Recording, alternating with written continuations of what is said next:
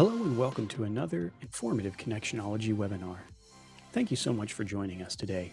Your host, as always, Executive, Executive Director, Director, of Connectionology, Connectionology Ginger, Ginger Jarek.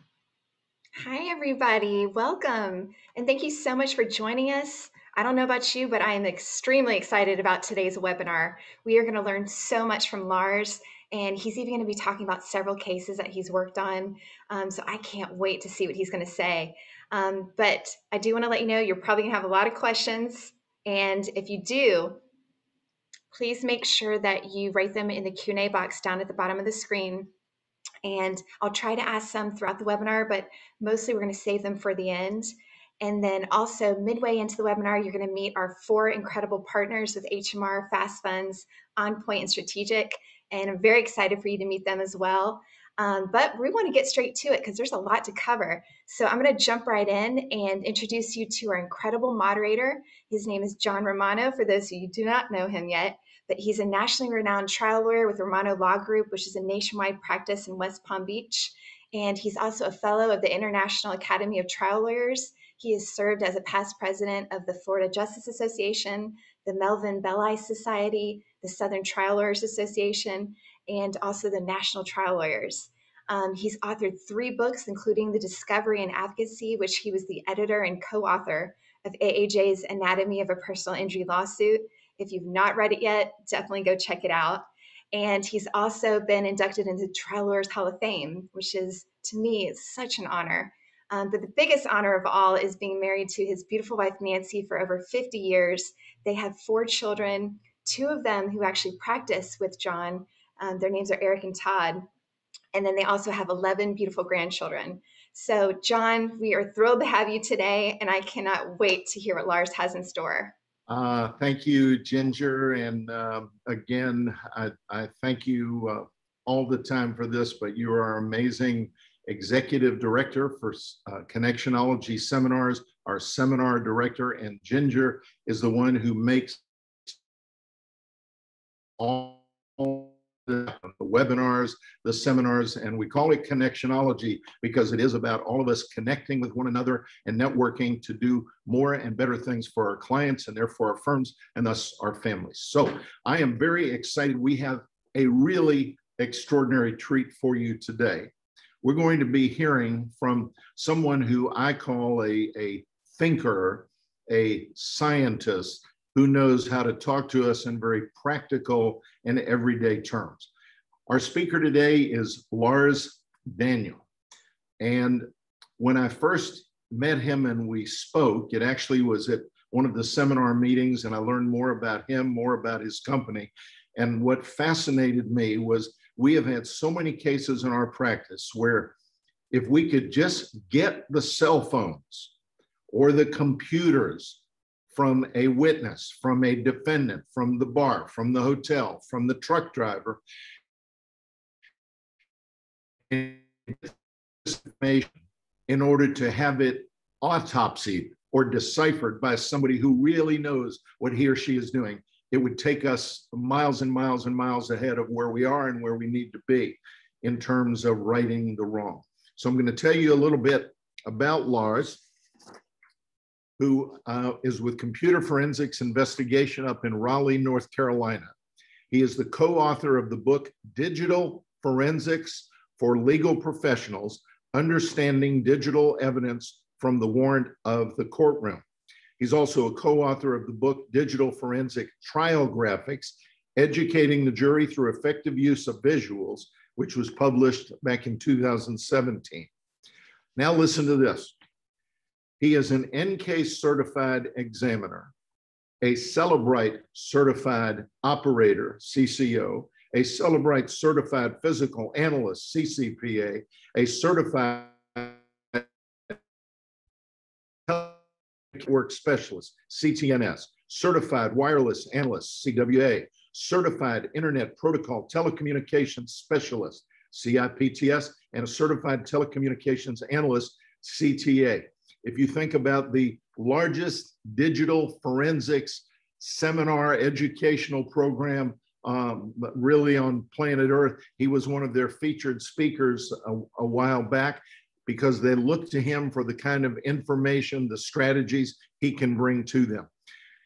He is qualified as an expert in state and federal court throughout America in areas including uh, computer forensics, cell phone forensics, um, video forensics expert, photography or photo forensics expert, and much more. He is a, a brainiac who knows how to talk to us in practical terms. So I want to get on with it and we're so grateful to have him with us and uh, be writing things down or sending in your questions because we're going to have someone who can provide you with the answers. So an honor and a privilege for Connectionology to present to you Lars Daniel. Lars, the floor is yours. Take it away. Well, thank you so much. Let me share my screen here we will get started. Appreciate that introduction. One moment.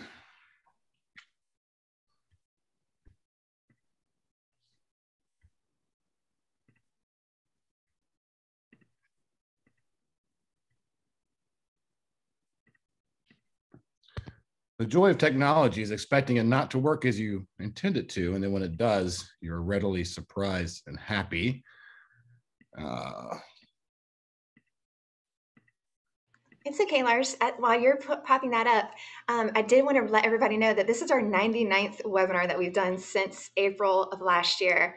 Tomorrow is our 100th webinar. I really hope that you can join us. Um, if you go to connectionology.com, that's where I'm adding all of our new webinars. And there are so many new ones, even for June. So thank you for signing up. Thank you for telling all of your colleagues. And um, we appreciate your support. Um, so, Lars, I'm going to hand it back over to you. Perfect. All right, we're going to hop right in. Once again, thank you for that introduction.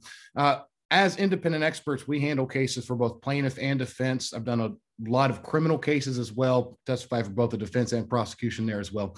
So the case example you're going to see are coming from all over the place today. Now, these are not all plaintiff based case examples, but there's a lot to learn and it is uh, interesting to see it from all sides. Uh, so let's start there right now. Uh, in this case, we're going to look at first, and I like to start with this one because it's holistic in looking at multiple types of evidence including call detail records, driver logs, and the actual data from the cell phone itself. Now, I was retained by the defense in this case. The plaintiff expert, the opposing expert, made two claims. One was that the driver's fatigue was one of the causes of the accident, and that the driver was distracted at the time because they were using their phone. Well, the first claim there we will deal with is the distraction based upon using the phone. Uh, this expert said that iHeartRadio was was on at the time and that he was utilizing that application to play music and that the switching from one album to another meant that that person had the phone in their hand and selected a different song now if you're familiar with iheartradio or any application that plays music just about when it goes from one song to the next in like your playlist the album cover updates automatically we were able to prove that this was an automatic function of the application and there was no use or no evidence of use of the phone in someone's hand or any other way being distracted in that fashion. They then do, uh, that expert then did what is called a lifestyle analysis. And what they do there is that they take the driver's logs, they correlate that information with the call detail records and the phone records, they smash that together and then you can see when they're driving and when they're texting and the voice calls and so forth. And these are sections from that opposing experts report.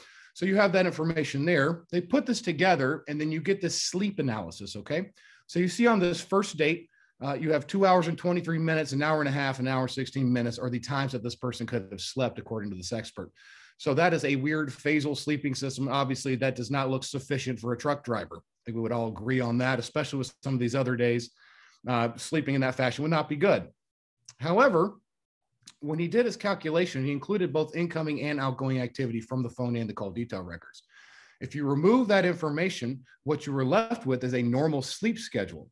And here's how this works you have your phone, you go to bed, you wake up in the morning, you have five or six text messages, an emergency email, and whatever else. You were not awake for that. That's incoming activity. You cannot include that as activity that would keep someone awake. Only outgoing activity can be utilized for that, or other evidence that shows usage, user attribution, a person doing something with a cell phone. So that incoming activity, if you take that out, normal sleep schedule, a good outcome for the client. Now we're going to talk some technology here. We need to understand a little bit about cell phones, how the data is acquired, how it's copied out of those phones and utilized forensically, uh, and the methods that needs to be done and how it can be challenged, which we'll also talk about here shortly. Uh, but the first thing we need to talk about is just how unique cell phones are compared to computers or other devices. With most computers and other things like that, I can force it to give me all of its data. Cell phones are a little more difficult. Uh, they're very, very um, extensive research goes into the reverse engineering and hacking of these phones more or less by the primary tool providers. Uh, the primary is Cellebrite. If you've heard of anything, you will have heard of that one. We'll see a lot of screenshots of evidence from that piece of software as we move forward. Uh, but that's used by all your alphabet soup agencies, the FBI, CIA, NSA, private labs who can afford it, and the rest. It's an excellent tool. And there's other tools as well that uh, companies utilize to get that information. But at the end of the day, we all remember when you had to go to like a, a special store and spin the kiosk to find the that one charger that fit your particular model of phone. That's not the case anymore, right? That battle's pretty much done. It's basically Android and Apple. That's that's the two that we have. So it's less unique in that sense. However, every time there's an update uh, to the operating system, that there's a new phone that comes out, it does require, in many instances, the ability and the need to go reverse engineer that, figure out how to get access to the data, and so forth. Now, there are unique preservation issues related to cell phones too. Uh, if you have a phone and it can receive or send data, that's a no no. What you need to do is one weapon. If you're a forensic examiner, this is what you would do. You would put it in a Faraday bag. This is a radio frequency shielded bag that makes it so the phone cannot communicate at all. It cannot send any type of communication to the cellular network, a wireless network, or any other way. It works on the same technology as your microwave. So you put your food in the microwave and you microwave your lunch instead of your head, right? It contains all that inside a Faraday cage, more or less. The other issue, and the other reason you need to do this is that uh, you can remotely wipe a phone. Uh, I've had a case, a criminal case I worked on, where law enforcement took a phone into custody uh, and it was remotely wiped on the ride back uh, to the station. Okay, so we've seen that multiple times in many different types of cases, from civil to criminal and the rest. So that's not good. The other thing too, even if that didn't happen, if you have a pay-as-you-go phone, uh, uh, kind of your flip phone, older stuff like that, or if you have these uh, uh, burner phones, right? Let's just call them that for lack of a better term. As new data comes in, it will delete older data to make room for that new data for your less sophisticated phones. Now, if the oldest data is what mattered in your case, that's permanently gone potentially depending on that phone. Uh, so we don't want to do that. We want to preserve the phone as a perfect snapshot in time of exactly what exists on it when we make our forensic copy, okay? Or when we collect that evidence. Now, what should happen? When you go on scene and you see that phone, what should happen? And I have language I can send you in protocols, all this for free. We'll send that out but that phone should be collected and powered off. That's perfectly acceptable uh, if you don't have a concern about the passcode lock or the passcode is known. So if you either know it or if it's one that is supported, uh, there's thousands of models of phones. We can crack the password in a matter of seconds. Um, and for other phones, yes, including iPhones, we have connections that allow us to crack those passwords as well. Uh, there's one rare instance. This is almost always law enforcement only where you'll see this. They take a phone out of a suspect's hand. Uh, it's unlocked at the time. They'll wiggle their finger back and forth on it to keep it awake till they can hook it to uh, forensic software to pull the data. Uh, that's a very rare, just letting you know that does exist on occasion. But what happens too often, right? What's the reality of the situation? Well, the first responder, whoever that is, does what I call is thumb forensics, right?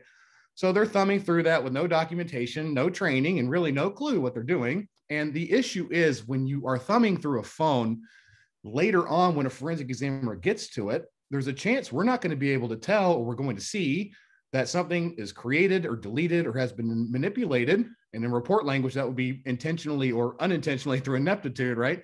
Uh, you can change data simply by touching electronic evidence. It's very fragile, it's very volatile, uh, it's, it's prone to corruption if it's not dealt with correctly. Uh, and that's why advanced technology and tools that's not IT tools need to be utilized to collect this information. So we're going to talk about that now. There's three types of primary acquisitions. When I say acquisition, we're talking about the data collection from a phone, how we get the data off of it.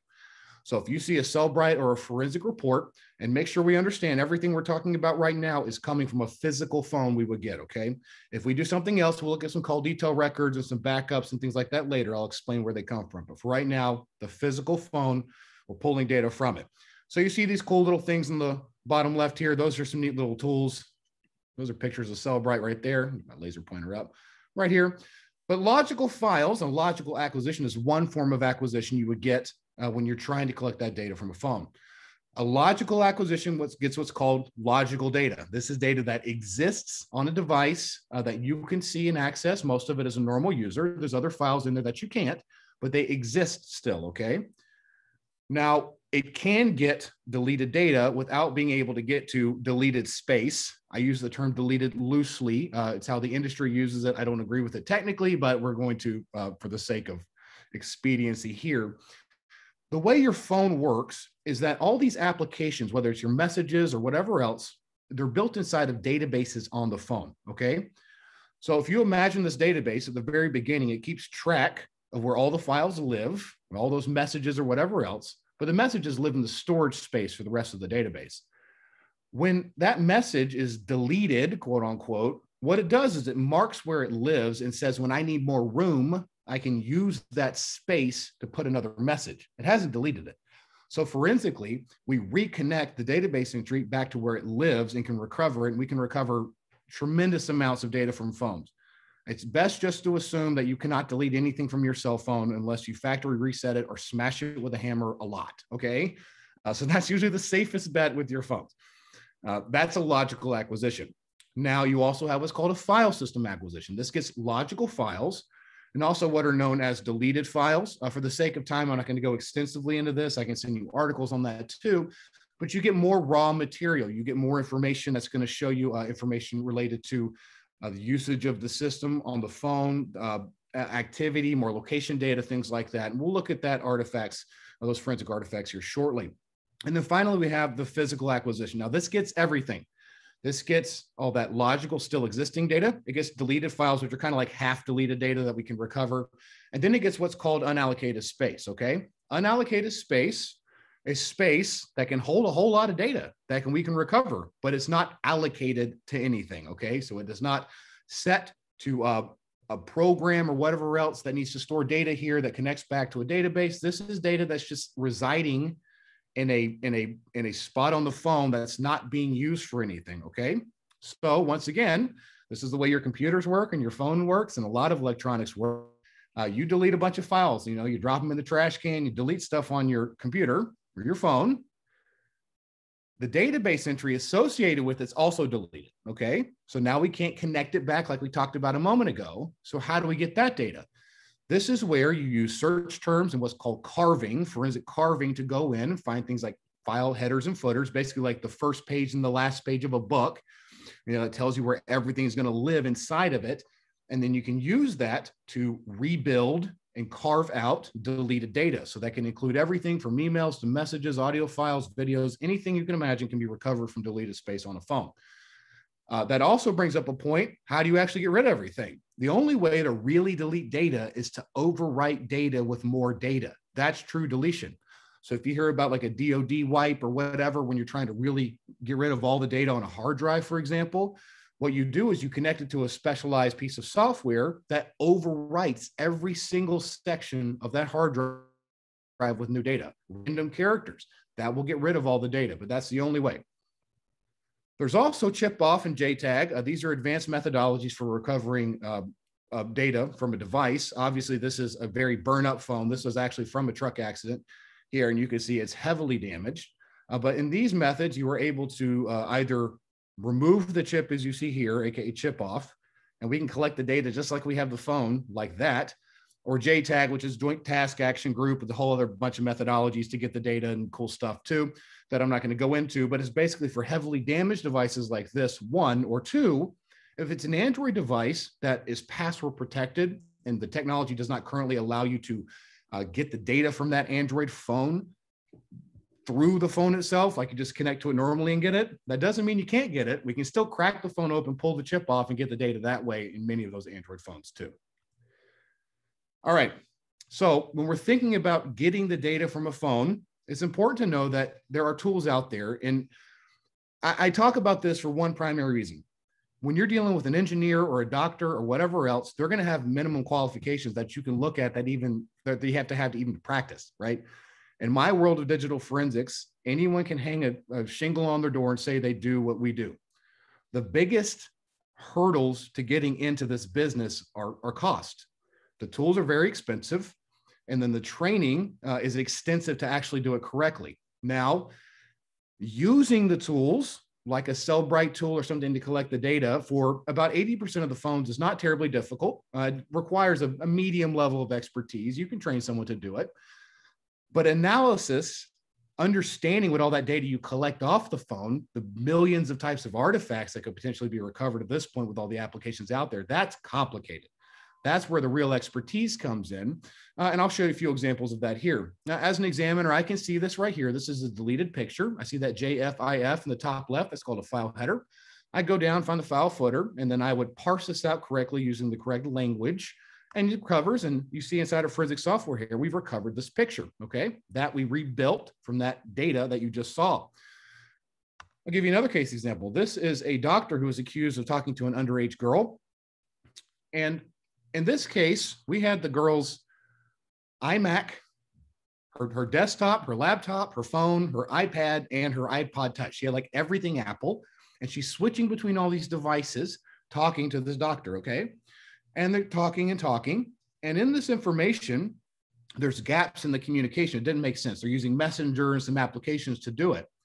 Uh, this is the first of my knowledge. One of my examiners was able to go in and found and rebuilt by hand the database inside of Words with Friends and recovered the communication they had inside that game. Words with Friends is like Scrabble, you can play with people anywhere, but it has chat functionality. So, in recovering that chat functionality, we're able to have the full series of events uh, to get the complete story uh, to provide a, a, good outcome for our client in that case so they get up all the information they needed uh, to understand the scenario and the context.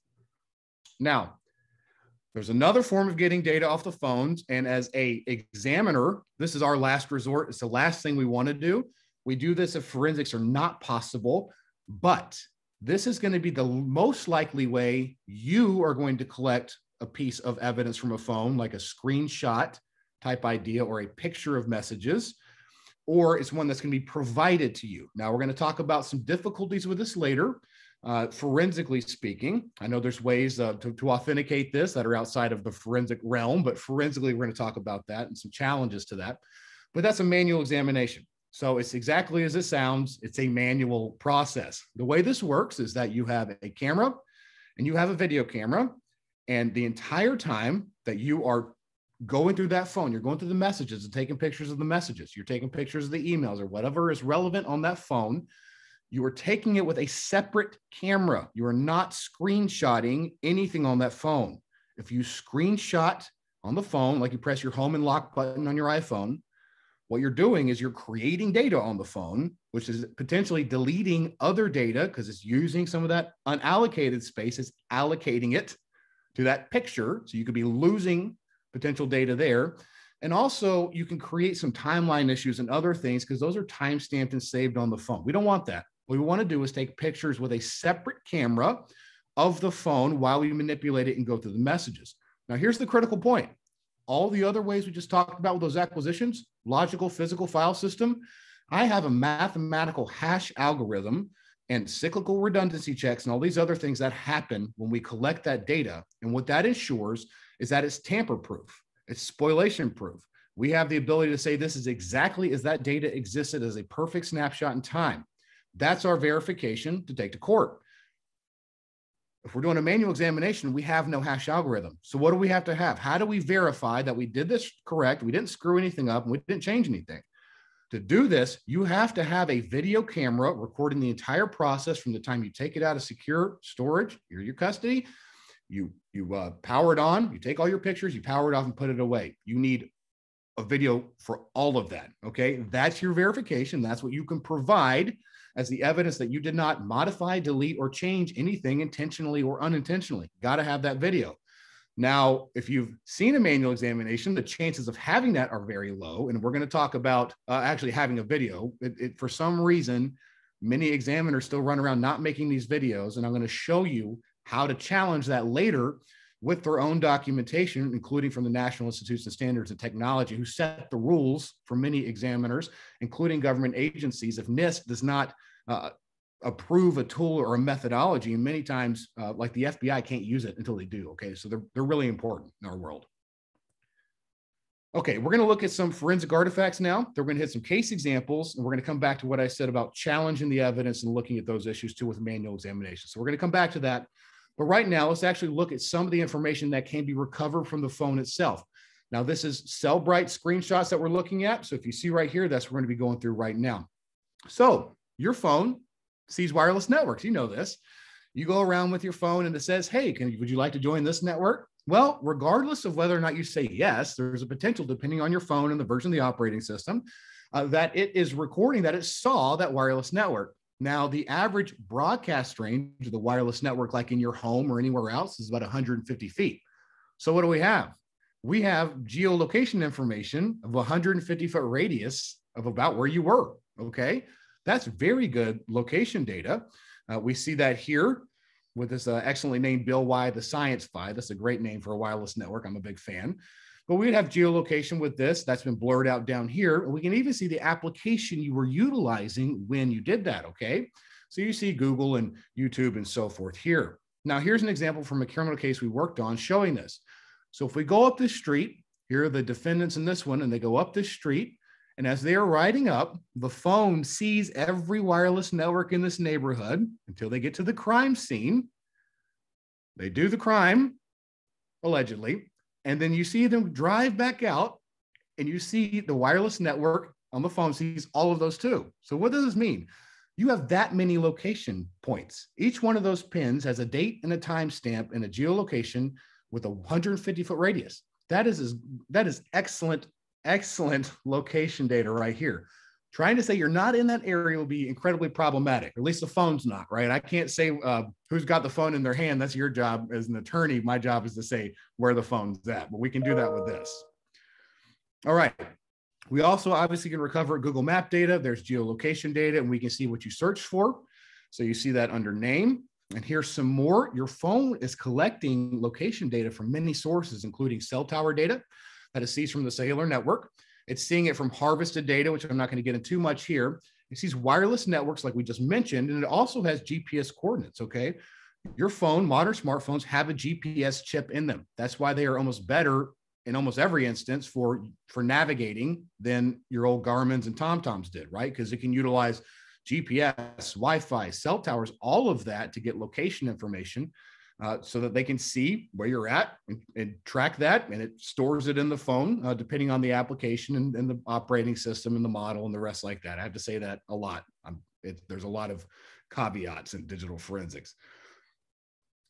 Here's some other examples of location data. So this is directly from Cellebrite. We can actually pull it up and I can show you on a map. I have another class where we actually go through the actual forensic report live and we can see all the data, manipulate it, and do cool stuff.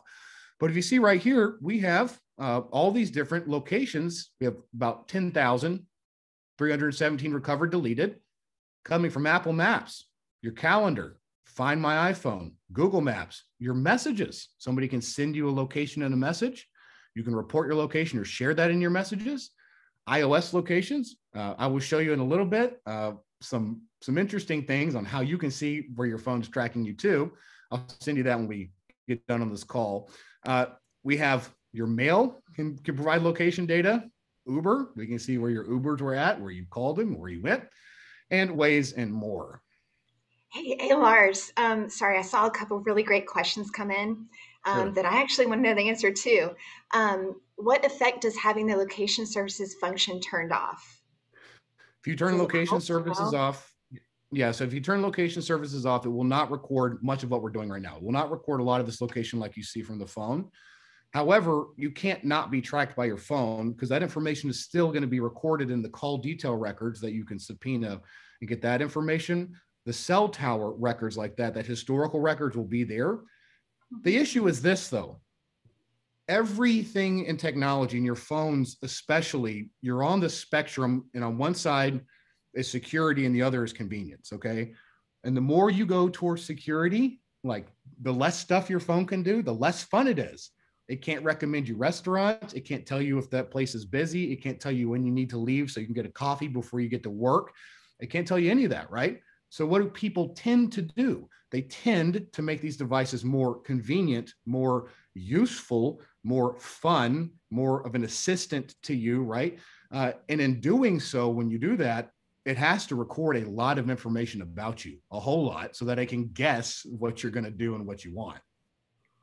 This is extremely interesting. I know everybody's enjoying this. Um, we're having a lot of great questions come in. I do want to ask one more. Um, sure. Steve Person, amazing attorney out of Michigan, if you guys don't know him yet. Um, he says, Lars, have you had any luck with third party apps, particularly Waze? Uh, Waze record, recovering data, yes. So if we even look in this one, we have 178 trips down here at Waze at the bottom that will recover from this phone. So yeah, absolutely. Okay, great. Yep. All right. I'll let you, let you get back to it, and then we'll be introducing two of our wonderful partners in just a few minutes. Great. I'll go about five more minutes and we can do that. So we can also recover user accounts. So if you look right here, uh, if you've ever had someone in a case and they say, I've got one email account, right? Like, I'm not sure if I believe that. Maybe you got another phone or something, but that doesn't seem like it makes a lot of sense. I remember back a long time ago doing a family law case where a gentleman had 50 email accounts he actively utilized for all of his uh, activities. But as we see right here, uh, this person will say, I only got one Yahoo account, but you get on the phone, you recover this stuff, and you have multiple accounts that you're utilizing to communicate. And we recover that and the passwords, as you see here. So it can generate a lot of leads. Other places to subpoena, other data to go after, uh, hidden data that they have. There's so many ways to obfuscate data now, especially with cloud based storage and the rest. But at the same time, it produces a lot of artifacts if you look at it forensically that you can recover to find that information and utilize it later and also searches right we all love searches uh, people utilize their phones today to consume and create more information than they do computers think about it you're out somewhere you want to look something up you pull out your phone you search on your phone right you use your phone all the time for this because it's like always in your pocket we always have it and searches are more than just uh, your Chromes, your Safaris, your, your, your web browsers, right? We see that in the bottom. We have Google Chrome, what we'll search for here. And then we have also on the left, we have the Play Store. And this is actually from a real case where it was spoofing calls. Fake text, prank, pranks on your phone, voice changer. They're looking for applications to download for this. And if you look in the top right, that's YouTube, right? And YouTube is the uh, video repository of all human knowledge. I've, I've seen uh, I know how to make poison from potatoes and cigarettes and all kinds of stuff from that, from cases, not from personal interest. Uh, I, we worked on a case uh, where a gentleman beheaded his girlfriend, and he he searched before doing that how to behead my girlfriend on YouTube. I had another one of someone was accused of embezzling millions of dollars from a company, and they they YouTube. How long will I go to jail for embezzling X amount of dollars? They didn't know the dollar amount yet, but it was exactly what they what they were accused of later. So uh, lots of great stuff in searches. And the number of searches we recover is just, it's ridiculous, to be honest. Uh, I'll show you one example from the transportation case on this. This was a young lady, a very sad case. She's 16, riding down the road, um, hits an 18 wheeler. We examine her phone. What we're able to see is that at the point of impact, she is searching for an obituary for a friend who passed away. So she's hitting the search button when the impact happens, according to eyewitnesses. Uh, so you can see that directly on the phone. It's really hard to not see what's happening if the phone's being utilized, especially if it's preserved in a timely manner. Uh, even if it's not, a lot of times we can still get that data back, but the sooner you preserve it, the better.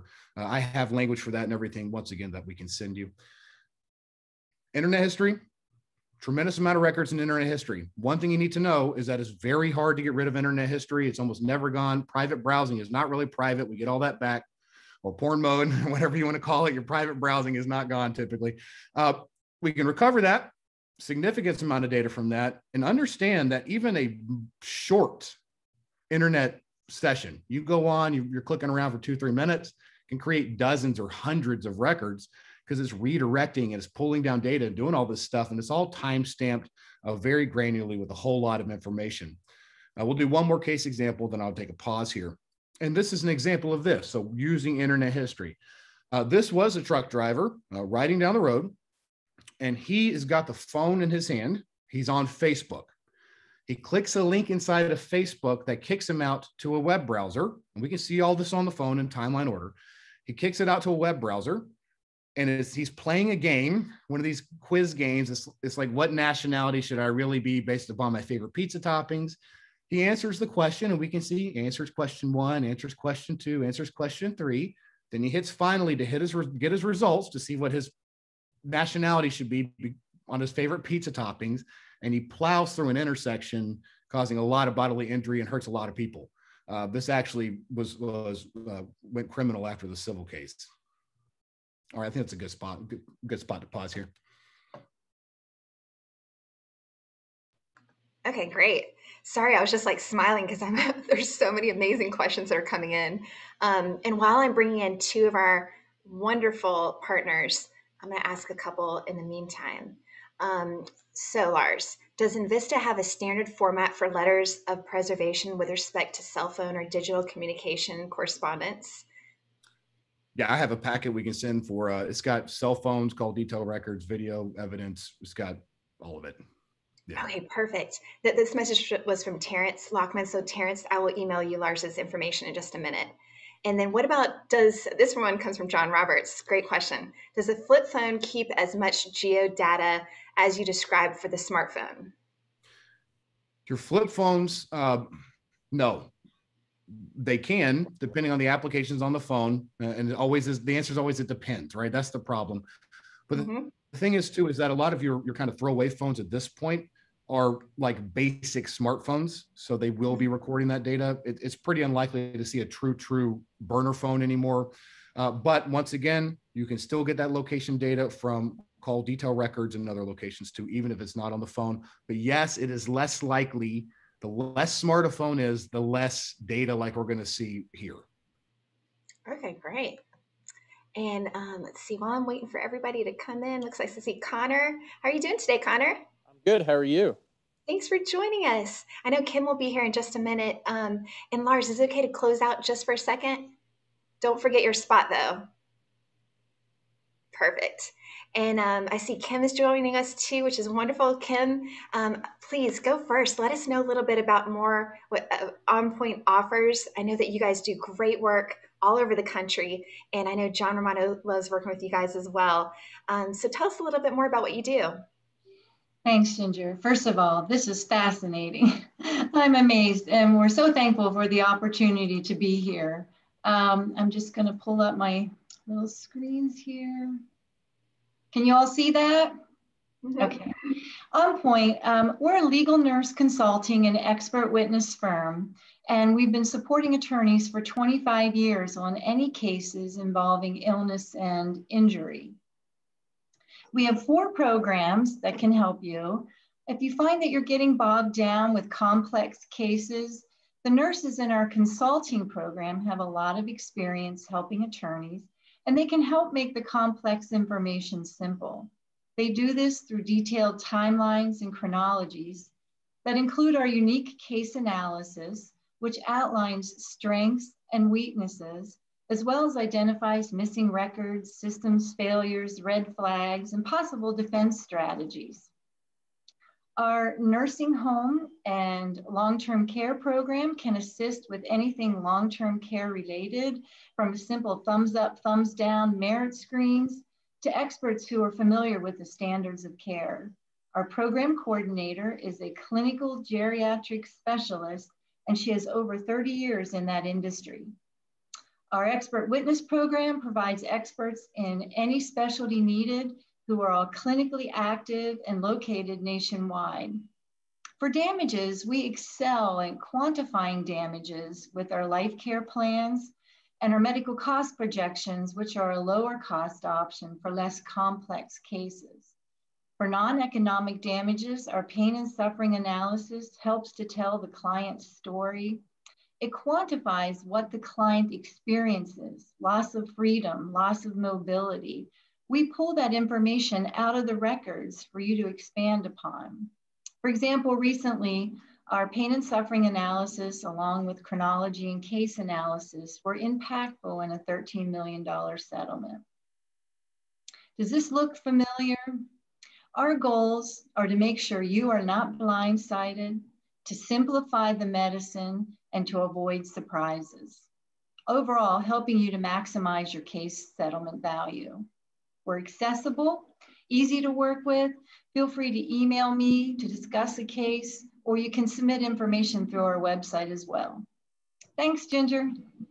Fantastic. Thank you, Kim. And um, if you don't mind, definitely put your information in the chat box for everybody as well. Okay. And we will see you again, um, if not tomorrow, definitely next week. Okay? okay? One second. One pause. I'm to let Connor go first. I'm to go grab the, the little munch. Thanks, Ginger. Hey, so we are an open source research group and, uh, and for the last almost 20 years now, uh, we've been operating outside of the discovery period. And uh, we specialize in identifying ex employees of corporate defendants and then flipping them and turning them into insider witnesses or, uh, or whistleblowers. Um, and we do this in kind of a two step process. And the first step is to create and source an actual list of names of ex employees. Um, and it's a really unique product because it's specifically tailored to what would benefit you most. Um, so, for example, if you only need um, cashiers and managers of Walmarts in Tennessee, that's what we're going to find you. Uh, we're not going to give you some giant list that you have to pick and piece through uh, that would benefit you. So once we get your actual list, then we can come in with our interviewing team and uh, and we will call everybody that's on that list and really get them to become sympathetic towards your case and towards your clients. So I really cannot stress the importance of ex-employees enough. Uh, they are absolutely detrimental to your defendants um, because you know they they've seen the day-to-day operations, they have seen that negligence from within, uh, and they're willing to talk about it. We work with lawyers all across the country that have utilized this in a number of different cases, ranging from nursing home cases to dram shop, slip and fall. It doesn't matter. Um, we've done uh, pretty much every type of case that there is. So I have redacted copies here of our EEL, our ex-employee list that I would love to share with anybody that's interested. Um, we also do work with finding class reps in class action lawsuits. We also can run um, other similar incident reports which are extremely useful uh, as well. So if you're interested, my information will be in the, in the uh, chat below. Please feel free to call, text, or email me anytime. Thanks, Ginger. I'm so glad that you mentioned that too, Connor, because I actually know a couple attorneys who are working with you guys right now on some class action um, lawsuits, and it's incredible the amount of people that you guys are finding. Yeah. So I almost feel like you need to do some work with Lars because you can find the people that nobody can find, and no one's even doing this type of work like you are. So it's pretty incredible. And then Lars could do it, find all the evidence. So yeah, absolutely. anyway. This, this is a really interesting subject and a little scary at the same time. So yeah, I feel like I need to turn my, my phone off. but anyway, um, thank you so much for joining us. Definitely put your information in the chat because I get questions all the time about people wanting to reach out to you guys. Absolutely. So thanks for being with us today. And um, I look forward to seeing you tomorrow on our 100th webinar too. Wow, awesome. Can't believe it. Thanks, Ginger. All right. Thanks so much, Connor. All right, Lars, I'm going to go ahead and turn it back over to you. And um, we're going to keep going. And then a little bit later on the webinar, um, we're going to introduce our final two partners. And then we will get to all the questions because I see a lot of good ones coming in. So thank you so much. All right, let me get this shared again. One moment.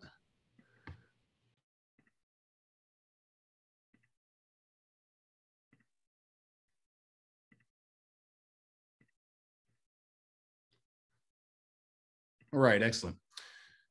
We did that one. Okay, so now we're looking at call logs. Now, call logs, obviously, no surprise, we can recover call logs. There's something I really want you to see here, though. Everywhere you see an X, that's a recovered deleted call log. Those are deleted calls, okay? Your phone will, if you have a smartphone, it will not selectively delete calls. A human deleted those calls, they're recovered here, okay? So see that, we have multiple recovered deleted calls, see those X's. Get my pointer up so I can point. Also, look at the very bottom here. This call is zero zero zero zero zero zero seconds. Like what what is that? Why is there a, a call that's zero seconds? And why do we care? We care for this reason. That puts that phone in someone's hand at a date and time. Okay. Where else will you get this information having this outgoing call right here? Nowhere. So what is this? This is like a like a butt dial, right? You accidentally hit the dial and hit stop. That's what this is. But it is a call by a person, but it has not lasted long enough to connect to the cellular network. You have no record of this call anywhere but getting the phone itself. Okay. So if it really matters in the timeline, that's where that's going to come from. A few examples related to calls to we're going to jump over. This is the phone itself. Now I just want you to see from call detail records. So these are records that you would subpoena. Once again, that's in the packet. I'm happy to send you uh, with for each carrier and what you should get in response. Okay. Uh, so what we have here, in this case, the opposing expert did not adjust the time zone. So I'm not going to cover all the details because it'd take too long. But in this case, they're seven hours off, okay? Because these call detail records, when you UTC time, which is zero, right? And then you have to calculate the offset, whether Eastern or whatever your time zone is. They were seven hours off. So all of their analysis was completely useless, okay? The details matter. The devil is in the details of digital forensics. It absolutely is. Uh, and a lot of times when you're dealing with these things, it doesn't make sense because it's done by a programmer, some nerd somewhere who does it for a reason that's not about trying to use as evidence. Okay. So you have to analyze and be able to interpret that data. So seven hours off, useless examination by that expert, good outcome for our client. Here's another one too. Okay. And this one, the opposing expert was saying these are all these phone calls. Look at all these phone calls that this driver is making going down the road. That sounds nice, except for these are routing. Uh, these numbers means that this is an automated function of the cellular system. A person did not do those. You have to remove those. It actually says that in the records. Uh, they utilize those to try to say all these calls were happening. We showed this, and obviously uh, they came to their senses and realized there were no calls uh, related to those instances right there. All right, messages. Huge, huge, hugely important, obviously, text messages. We have a lot to see on this page. Let's start here. Everywhere you see an X is a deleted recovered message. We can recover a lot of messages, okay? That's the first thing. Second, where you see parties here, those are the names in the address book, your contact list. And this person had deleted their contacts, okay? But using forensic software, we're able to rebuild it and then it puts the name back to the number that that person is associated with. Now, if you've ever had like 300 phone numbers, you got to find out who's who at the zoo, and you got no, you got to track back all those numbers. That's a massive pain and a huge time sink. This way, we know what that person named all those people. So he recovered, rebuilt it. That's why it's in red. All right, now if we go to the top right over here and we look at analyze data, you'll see iMessage communication right? You see a whole lot of those. And then we see chat communication as well. So if we're looking at those, when you see um, MMS and SMS messages, the very bottom's SMS, we have 13,000 of those. That short message service messages, MMS is multimedia message service messages. Uh, carriers, if the carriers record this, will record the text message transmission being sent, sent back or forth in a call detail record, okay? So MMS and SMS messages transmit on the cellular system in such a way that they will create a record of existing and having been sent in a call detail report. Okay. iMessage communication does not. Snapchat does not. What WhatsApp does not. Kik Messenger does not, because these transmit via data. Okay. So if this was your case, and you just got the call detail records, you'd see that 13,000 messages went back and forth. You wouldn't have the content, you just have the, the transmission that they actually went back and forth. You'd have 28,000 messages you don't know exist. Now, let me ask you this you have kids, you have younger people that you know. How often do they use messaging? How often do they use Snapchat and WhatsApp and Signal and Kik Messenger and everything else? All the time, because you can do cool stuff with those that you can't do with SMS and MMS. If you want that, you probably need to get the phone. Okay. One more thing. Look at the very bottom why I've circled unread down there, that very last message. Okay. Deleted, recovered message. Remember how he talked about thumbing through the phone and how dangerous that can be? Let's pretend you had this phone and you thumbed through it. Now, that status on that message is unread. If someone thumbed through this phone before it was forensically acquired or collected, that message would go from unread to read because you clicked on it. So now you are attributing knowledge to the content of that message to the custodian when in reality there was no evidence they ever saw it, but you have changed that evidence by touching the phone uh, without it being forensically acquired first. Okay. So that's one of the reasons why we don't want to do that. Now, obviously, uh, installed applications, that's useful a lot of times to see what people have put on the phones. Uh, a really quick example of this, we had someone who uh, uh was accused of putting a GoPro camera in a dressing room, said it wasn't me, I never did it, I never had a GoPro, I didn't do it. Uh, however, we did recover a deleted installation of a GoPro. Uh, and in this version of that GoPro, you had to use a phone to connect to it to see the footage. We were we were able to link it directly to that installation to that camera. Okay, so very helpful to have that information there too, with your installed applications pictures as well. Okay. What I want you to see here primarily, you see in the metadata field, that very first picture, get my little laser pointer again. We see this was taken by an LG Electronics VM670 phone. We have the capture time. That's the time the picture was taken. I want you to understand this. Pay attention. If you have a picture and it shows a created time, that is not the time the picture was taken. The created time is the time that that file began to exist on a file system of electronic device. Okay, it has nothing to do with when the picture was taken. The picture time, when it was actually taken, is stored in the metadata. You've heard of metadata, it's data about data, like metacognition, thinking about thinking, right? Metadata is data about the data itself that's embedded in the file that you can access with special tools. With that, we can see a capture time. We can also see latitude and longitude coordinates where it geolocated the picture when it took it. That's almost all phones and cameras do that now, okay? But what about this? Look at the second picture down. We have a Samsung SPH M820 phone that took this picture, okay? We have no capture time and none of the additional metadata here. What can we say about this? I can tell you conclusively that this picture was not taken by this phone, that it was received from another phone, or that it was got from the internet or whatever else.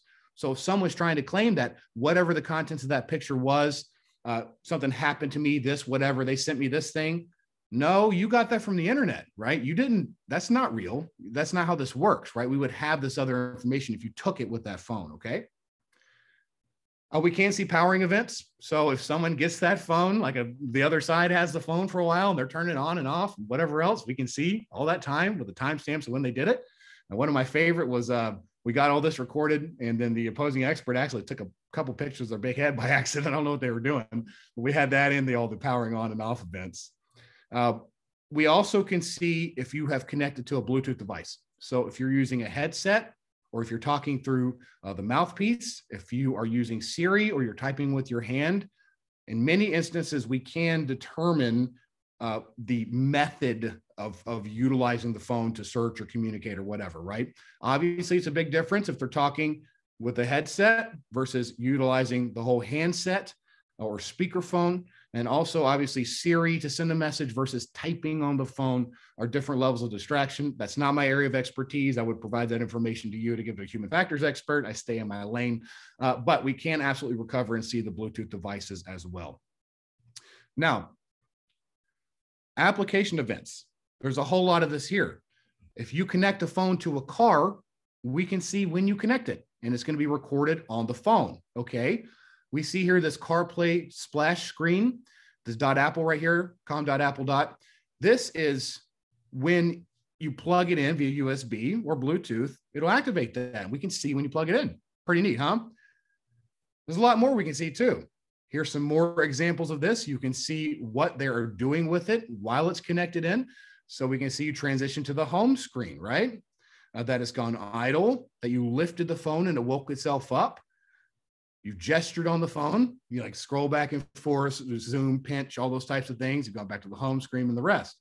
Now, let's look at it right here. This is within Cellebrite forensic software. I know this is kind of small, but here's what I want you to see. You can see when you change the orientation. You hold the phone up, you turn it sideways, you take steps, you go upstairs, that's all recorded in the phone. You unlock it, you you route it from talking on your headset to going to your AirPods. It will show that you did that inside the system activity on the phone. So you have all that information very granular. You look at the times here when somebody's using this 952, 1002, 953. I mean, you have very granular, very close time, and it records a huge amount of that data, including here that the phone was unlocked, right? We blew these out just so you could see it. Unlock the phone and you change the orientation landscape. So, did they have the phone in their hand? Did they unlock it? Yeah. Did they turn it a direction? Yeah. Right. That's not going to happen by accident. Phones don't unlock themselves. That's user attribution. All right. There's nothing better than electronics for creating extensive timelines. Now, I'm going to do a caveat here that I teach in one other class, so just do a short version here. It's very much my opinion that an expert should not be able to qualify as an expert in digital forensics and talk. It, let, let me start over. A fact witness should not be able to talk about times with electronic evidence. It's too complicated. It requires being an expert to talk about what the times mean because they're very complicated there's many, many ways that these times can change or that they don't appear as you think they should. Uh, so it's very important for that. Uh, I have a whole section on on where I dealt with an opposing expert and they were not allowed to testify as an expert because they could not show the necessary qualifications to talk about the time, but that's for another class. But timelines are amazing. Now imagine this you get a report from the opposing side from a cell phone, like a PDF, and they print it out, and you have messages and emails and everything else all separate. Now you got to like try to cut them all into like little strips of paper and put them back on a board to try to figure out what, what happened. That's a pain, right? And you can't filter you can't search, you can't do anything. Uh, within forensic software, we can see it in order, we can filter it, we can search it and do all the rest. So we can see exactly what's happening in order. Let me show you a case example of that right now. Uh, this we were retained by the defense. Uh, this is the plaintiff's phone in this case. Okay. So what we're seeing right here, going down, using the phone, riding in the car. Okay. He's in the car. He's got an application open for his pharmacy. He's trying to take a picture of the pill bottle so he can upload it to free fill his prescription. Takes the first picture here, it's a little blurry. Takes the second picture here, it's a little blurry. He takes the third picture and it's perfectly crisp and clear uh, he also goes under the back of the 18 wheeler and is decapitated at the same time. Okay. So that right there, that picture, phone in the hand, taking a picture, uploading it to an application, right? So you can say all that on the phone in timeline order. All right. Now we're going to get to challenging some of this evidence uh, right now. We're going to begin with manual examinations, okay? And I'm going to tell you why I think this is important. Uh, remember what we talked about when you're doing the manual examinations. This is where you're taking pictures of a phone, right? And you have a video recording you. Look, you can do that if you need to get something too. And it's really important. You don't need an expert if it's not a big enough case. Take that phone, you've got it in airplane mode, right? So it can't receive anything in or out. You record even with a separate iPhone, right? While you take pictures with another camera of that phone. You just need a video, of the whole process, okay? But we got to isolate it from all the networks. You got to have video verification and complete documentation. All right, that's my point in this. So uh, you'll have this PowerPoint, so you can read all this later. I'm not going to read all this stuff from my affidavits and other work, but I'm going to say that taking screenshots or pictures constitutes a forensic manual examination. Right, that's the that's the what I call it, uh, and that you need certain things in order to do that. First, you got to isolate it from the networks. So how about then we we put in some exhibits. Here's NIST saying this. You got to isolate it. Uh, right here. You can you can pull that one. Uh, this is like the biggest organization out there for approving tools and the rest for the government, all that, law enforcement, you name it. Uh, then you have digital evidence of computer crime. Eoghan Casey, Benjamin Turnbull say the same thing right here. Got to isolate it. And then this is from our first book. Uh, we say the same thing in protecting cell phone evidence. Now, how do you know if it's not isolated? If you get a picture from the opposing side and you see bars like wireless bars or cellular bars, they didn't isolate it. Right? That's it. You know from that picture. Okay, uh, that's all you got to look on there. So that should that should not happen. Okay, we see it a lot. It does happen, but it should not happen. So there's your exhibits to put in, and then also video verification. Right, you got to have that full video to prove that you didn't change anything. Here's NIST saying that. Here's Eoghan Casey, Benjamin Turnbull saying that, and here's from our book saying that as well. Okay, got to have video verification. Why does this matter? Why do we care? It's because fake messages are real. Fake content is a huge problem right now. And we're seeing more and more, co- uh, more evidence of this in lots of cases. It's easy to make fake evidence in digital world, digital world. It really is. I'm going to show you a few ways. It doesn't require uh, high level techn- technical sophistication at all. So let's look at some spoofs and fakes. using web-based applications. So you can go on the internet and do this right now. Okay, so let's start with this. This is uh, some fake ones I made. First, we're starting here with uh, Facebook. So the date, time, location, content, comments, all that is fake. That's me having a conversation with myself, completely fake. I made this is a fake post with fake comments, with fake people saying stuff. It looks absolutely real, just like a real screenshot. Here is Instagram. Uh, here's a fake conversation I've made. Uh, here's a fake place that I've gone to with fake people liking it and fake pictures and the rest, right? I've made all this in, a, in, in, in an hour and I took my time to make it look nice, right? So it doesn't, it's not hard. Uh, we have Twitter as well. And Twitter, you know, is like the, the best place for, for good civil communication. But we have a private conversation that's fake. We have fake tweets that are fake. Here is uh, WhatsApp as well, fake conversations. All this right here, right? I can make this be any person I want it to be. The same with Snapchat. Here is a fake snap. Looks absolutely real. Looks just like a screenshot from a phone. If I screenshotted one of these and send it to you, be the exact same look as this, okay? And iMessage. Here is a completely fake iMessage communication. So if you received a screenshot in Discovery and you're a little concerned about the authenticity of it, maybe it's not real. Maybe you need more information to authenticate that data because this can be made. Now you don't even have to use these fancy applications. Let's do it with just the phone. So let's just, you could just take your phone out and do this right now. Okay. Let me show you a few ways to do that. Well, I'm talking to Larry. Larry's my friend. I don't want to incriminate him or get him in trouble. So I just take, change the name in my contact list. Now all that conversation is from David, right? And then I screenshot those and send that in. Okay. So now it looks like it's a totally different person who did all this. You can still do this with your iPhone. This is nuts. I just did this recently just to re verify that you can do this. You can set the time on your iPhone to anything you want. Okay. So I could set this back to any date I can imagine, turn off the automatic clock. Now you turn it off, you have your email as one of your iMessage communications, and you can make a name. I did fake contact for our purposes here. That's my cell phone number. And I can have a communication with myself with one phone. And you see over here that final conversation that I have. You screenshot that, you send it in, you can make fake contact be any person that you want it to be. Okay. All right. One case example here. Let's look at a real one, then we'll pause. Okay. So this is an actual case example. In this case, it was a criminal case. Uh, we were retained by the criminal defense attorney. And this one, this client had been in jail for six months. Okay, six months by the time we were brought onto this case. He's been accused by the ex girlfriend of threatening her. He's been arrested. He's sitting in jail for six months. Uh, if you're sensitive, there is language in this. Uh, I doubt there's anyone that's too problematic. Uh, your attorneys, you've, you've, heard and seen it all. Uh, obviously, this is not my report. Uh, I do not write in all caps, and I know what punctuation is, but here, you go. So this is the report that the law enforcement officer filled out. Victim has a 50B order on defendant, can't contact her via phone. Uh, he sent a text to her stating he was going to go to her place bodily injury with a gun, all that stuff, right? So, what are the facts? 50B order twice in the past, stayed on text. He's aware of the police to go after her, threatening her life, said, uh, You're really dumb.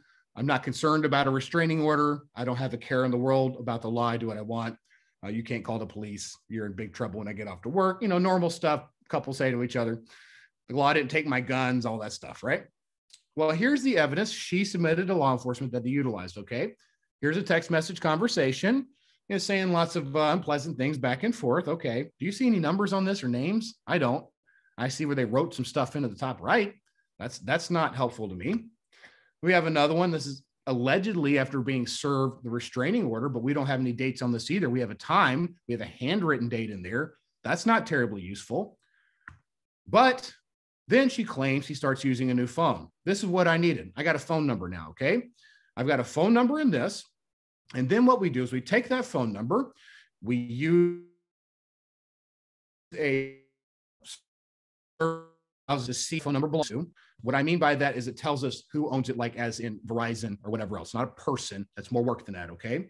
So you get that, you find out who owns it, you send a subpoena to get the subscriber information. What we find out is that this is related to uh, uh, Go Text Me, which is a uh, an application you utilize that gives you a phone number and you can communicate with it. But here's a few things that we see. One, the username, Jake the Snake. The sign up date, we have that. We have the email here, Jake the Snake K at Tahoe.com. Now, how many of you have a Tahoe email account? None of you, right? Because it's not a real email address.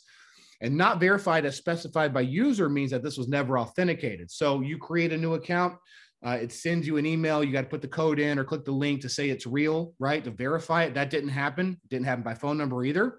Two really important things. IP when number is signed. IP addresses work a little differently for phones a lot of times than with computers and in most in some situations. It can point back to a particular device instead of a public IP. I'm not going to talk about that right now. That's for the computer forensics class. But what this means is that this goes back to a particular device. We've got an IP address that's assigned that's unique to one person. Okay. We also have a device ID. A device ID is related to the physical piece of hardware you hold in your hand. You can wipe that phone 100 times and the device ID is not going to change. It's unique to the physical phone. Okay. All right. So we get the IP address. Then we find out who owns the IP address, so WHOIS lookup. And then we subpoena them. And it belongs to Verizon. That's the first thing we see. Okay. So this is before we subpoena it. And it's, it's Verizon. His phone's on Sprint. That's a little odd. So you send the subpoena in, you get that information and she had the IP address at that time. And this device ID is her phone. She faked all of this. Uh, after this, uh, all the charges were dropped and he was let out of jail. Uh, but all completely fake, all completely spoofed. And she absolutely manufactured all of that evidence. So pictures and screenshots are not enough to authenticate this. In many instances, if you want to challenge that, you can. All right, I will take a pause here now. Yeah, this is just incredible, Lars. I think everyone's just kind of like, you know, wow, it's amazing. Um, some of this information it kind of reminds me, and it's a little scary too, that, you know, that Netflix documentary, Social Dilemma. Yeah. I watched that and I was like, oh, I almost wanted to turn everything off. but uh, so this, this is incredible. Now, um, we do still have a lot of great questions coming in. I do want to remind everybody that I will send you a copy of Lars's slides today. We are recording the webinar, so I'll make sure that you get a copy. I'll try to post it to YouTube later on um, this afternoon. But while I'm bringing in our final two sponsors, they're just going to take a couple minutes to share with you a little bit about what they do. Um, I want to ask another question, Lars. This one comes from Philip. He wants to know um, I've looked at the cell phone tower data, and it was obvious that it was inaccurate because the phone can pick up um, cell towers miles, you know, miles away from the location of the phone. So, what mm-hmm. do you mm-hmm. think about that? That can happen. Um, I have a whole team of cellular analysts, um, so I'm going to talk as much as I know about that. Uh, when you're dealing with that, you have things that can absolutely make that happen. If you have a large body of water, other things like that, you can have that happen. Okay. Mm-hmm. There is a way around this. Uh, we are one of the only private labs I have what's called as radio frequency verification. Okay. Uh, this is also known as drive testing. The FBI and other law enforcement agencies do this regularly. The way this works is that, let's say you did have that issue, you're really concerned where it could be connected to. We have equipment where you actually have to drive around the area and you collect the radio frequency uh, strength from the cell towers and you create what's called a propagation map. So you can actually see where it would have connected to. Okay. So what you would have there, if it really is really far away, is what's called a hotspot. We could actually verify that on a map. Okay, uh, that's the only way to do that is with radio frequency drive testing, um, and that's a that's another class too, and that's very very specialized. But yes, you, that is true. That can happen, and that's covered actually in one of our other experts' book, uh, "Cell Phone Location Evidence for Legal Professionals," which talks about that extensively. Okay, great. And I think that's similar to Jamie's question because she had asked, um, is there a way perhaps through Bluetooth that two phones that were within a certain range of each other at a certain time, you know, can they kind of catch up, for example? Like, do they get confused? Do they know which one it is? Um, that's an excellent question. Mm-hmm. That used to be an issue. I'm not sure if that's still that much of an issue now. And I don't want to answer out of turn. I don't know, but I'd be happy to answer that offline after a little little research. Perfect. That sounds good. And if it's okay, we're going to close out of your PowerPoint just for a second. Um, we've got Leon Branham who's with us with Fast Funds, an incredible guy. If you guys don't know him, definitely get to know him and give him a call um, because he's been in the industry like over 15 years. He knows everybody. Um, but particularly the work that he does is so wonderful and he can help get you the funds that you need for your cases and turn it around in like less than 24 hours, right? That's right. That's right. so, um, tell us a little bit more about what you do, and uh, we'd love to hear a little bit more. Sure, I'll just uh, do a quick uh, share screen, and I'm just fascinated with today's topic. I've got kids with phones, and um, I almost don't want to present and just listen to Lars uh, talk some more. But um, uh, for those who aren't familiar with Fast Funds, we're one of the first original litigation funding companies that started the industry nearly 25 years ago. And what we do is provide non-recourse funding for attorneys and plaintiffs on an individual case basis it's no secret that it's like a financial David versus versus Goliath in today's uh, legal landscape, where the plaintiff attorneys have to cover their own expenses on every case on a contingent basis. Meanwhile, the defense has all their fees and expenses covered by deep-pocketed insurance companies, which creates a culture where the defense will delay the case resolution and will attempt to outspend the plaintiffs uh, as a tactic for your client to accept less than their case is worth. So what does a uh, plaintiff's attorney do uh, today? Well, they might try to self-fund uh, their cases one case at a time. But after listening to today's uh, you know, speaker, what if they wanted to use Envista on more than one case? What if they had 10 cases? Are they able to fund 10 cases on their own uh, at once? And what about your other expenses in your office, like overhead and marketing? Some attorneys will look to partner with other attorneys, which is great. But if you don't cover your expenses, you're giving up another 40 to 75% of the fee that you would otherwise uh, be able to capture. Some attorneys will try to stretch their dollar with less expensive um, experts. But if you don't pay for the great experts, you won't get great results. Uh, some attorneys have been have tried to go to a bank uh, but banks are highly regulated and they don't give you value for your most important asset, which are your cases. Uh, so they're unable to, you know, uh, you know, help you out in funding your, your firm. And unfortunately, some attorneys um, have to live to fight another day and accept less uh, than the case is actually worth. Well, there's a better way. Uh, we've developed a unique funding product for plaintiff attorneys to help cover expenses on an individual cases on a non-recourse basis. That means there's no personal guarantee, there's no lien on your portfolio cases and or your attorney fees. If you don't recover in the case, we don't recover on the expenses that we funded on your behalf. Uh, that allows you to move more cases along by getting the right experts where they're needed most on more cases. Uh, and what that'll do is it'll increase your case value on more cases and also reduce the amount of time that it takes you to resolve. Uh, we've had uh, plenty of attorneys uh, through Connectionology and nationwide that have used our services. I'd be more than happy to give some references. I'll put my uh, contact information in the chat below um, afterwards and look forward to the rest of the, the webinar. Thanks, Ginger. No, thank you, Leon. And thank you for putting your information in the chat because I know we're going to have some people reaching out wanting to know what's your phone number, what's your email. so thank you so much. And thanks for being with us today. Um, and I look forward to seeing you tomorrow as well for our special webinar. Can't wait. And now it is my pleasure. I'm really excited for you guys to meet Kyle Kinberger, who is going to be, um, I think Ted Mullis is going to join us later because we've got the coffee giveaway that we're going to be doing later. Um, but anyway, for those of you who don't know Kyle, um, we've been working with him since day one. They do such amazing things over at HMR, and they also work with everybody all over the country. Um, great organization. Um, so, Kyle, if if you could just tell us a little bit more about what HMR does and how you can help some of our attendees. Yeah, sure, absolutely. Um, you know, it, it, it's really been great for us because a lot of our, uh, you know, a lot of the attendees we've actually gotten a chance to work with at this point. So, um, so for those of you who don't know, um, primarily we get involved in cases where somebody's been injured uh, catastrophically, but they don't have uh, insurance or they're underinsured and can't get the medical treatment they need. So a lot of what we're getting these days is attorneys who are calling us who maybe practice in Los Angeles, but they've got a client they represent in Chicago and they need a brain injury treatment or a spine surgeon to assist their client in the, the medical needs they, they have.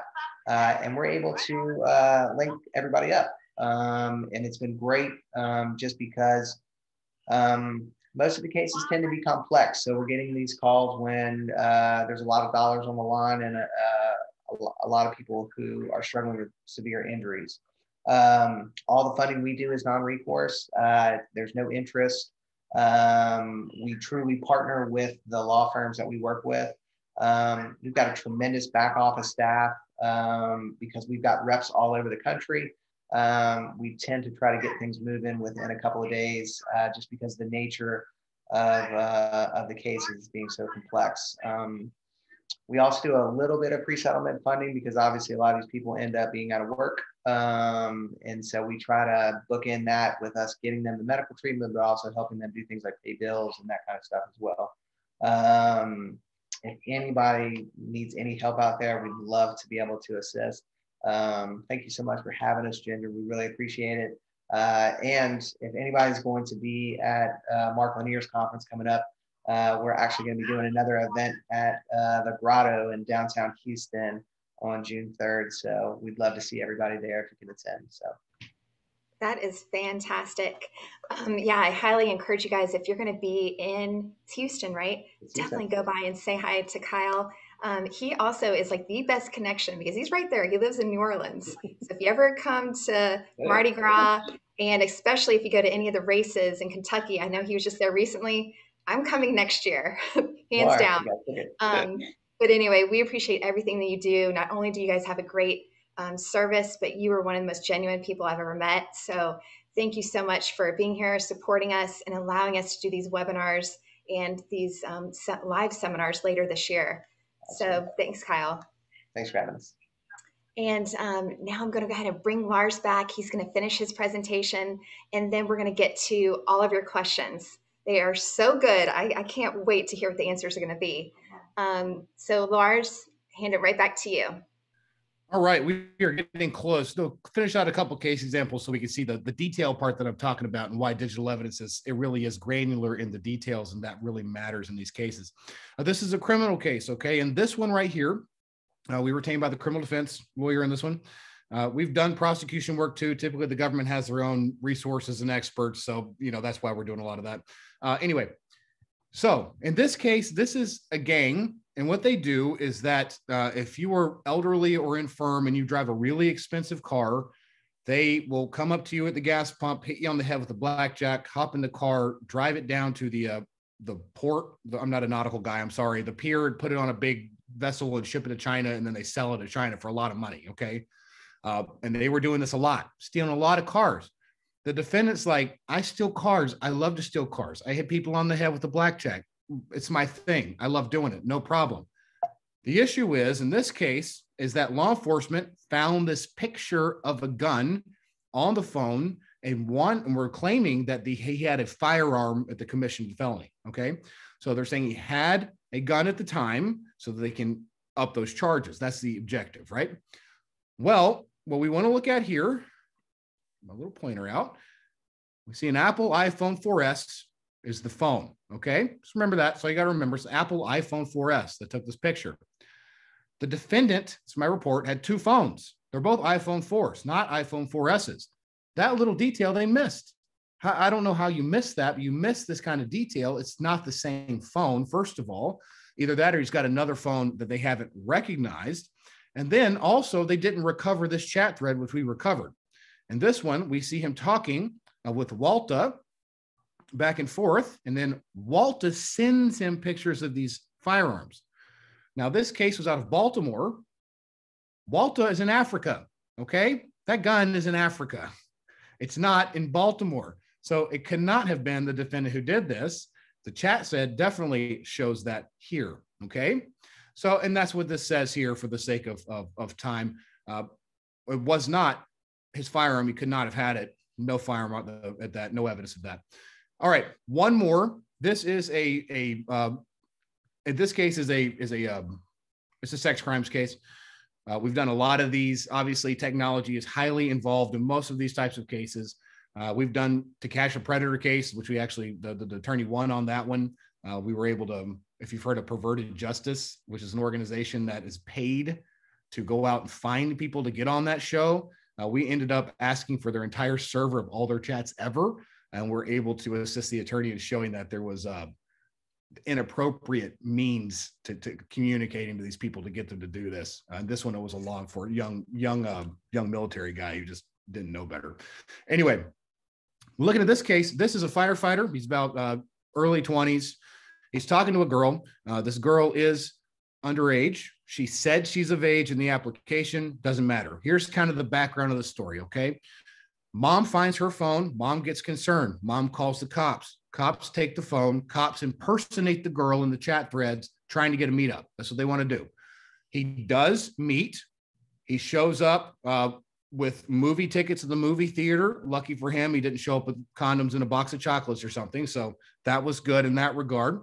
Good part of this case. Now, understand that's where they started. They did not have what they needed to make a solicitation case. So they dropped that and they instead charged him with uh, possession, receipt of, of uh, child pornography, okay, from photos that she had sent him. Now, my only part in this case was a technological argument. And here's what it is Did he intend to possess this? Is there evidence of him intending to possess and preserve this? Why does this matter? This matters because if I send you a message right now, you're going to get it. You can't not get it. If I send you an email, you're going to get it. It's going to exist on your device.